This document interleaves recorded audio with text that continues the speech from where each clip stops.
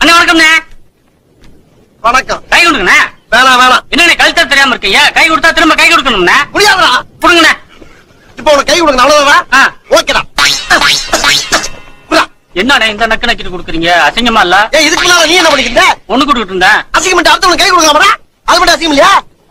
ஆளை பாக்குறதுக்கு மேல மூக்க நோண்டுறது காதை நோண்டுறது அப்புறம் இதுக்குள்ள விட்டு சொல்லிடுறது இதுல விட்டு சொல்லிடுறது வந்துட்டு ஹலோ ஹவாருன்னு கை கொடுக்கறது. யாரா கத்து கொடுத்தா அந்த நாயை?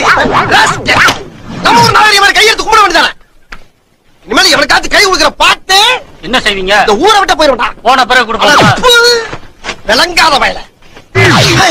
ஏய் என்னடா அது? எல்லாம் உன்னாலதான்.